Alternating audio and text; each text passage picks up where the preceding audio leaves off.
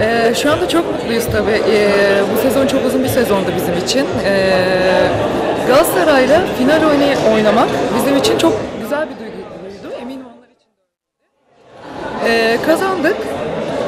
3 maçı 3-0 aldık. Hepsi çok iyi oyuncular. Ee, onlara rağmen bu skorla kazanmak bizi e, çok mutlu ediyor.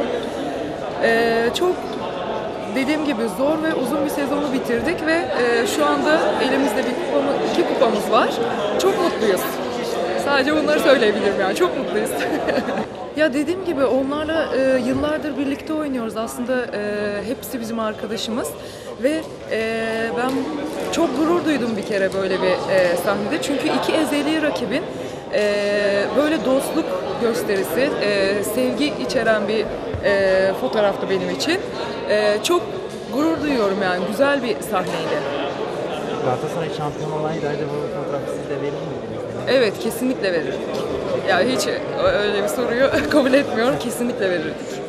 Ben teşekkür ederim.